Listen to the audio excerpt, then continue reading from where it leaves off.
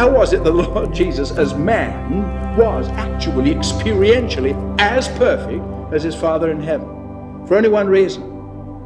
He took every step in an attitude of utter dependence upon his Father. Without my Father, said he, I can do nothing.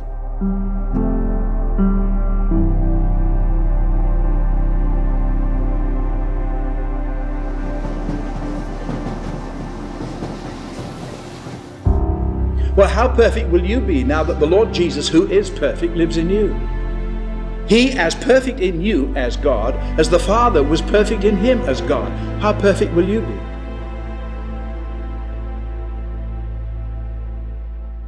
Having redeemed us by what he did, he rose again from the dead to come in the person of the Holy Spirit to share his life with us, as the only one who's capable of satisfying in us his own demands to live in you, share his life with you, and communicate that life through you. And all you have to do, if you want him so to do, is let him.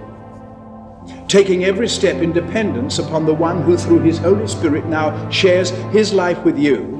For the Christian life is the life that he lived then, lived now by him in you.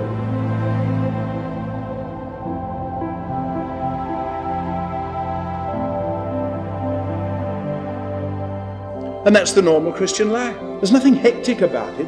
It isn't group therapy. It isn't touch and feel. You're not looking for some ecstatic experience. You're just enjoying Christ in the most leisurely fashion. May keep you busy, but you'll still be leisurely because you can relax into the adequacy of somebody who's always big enough for the job.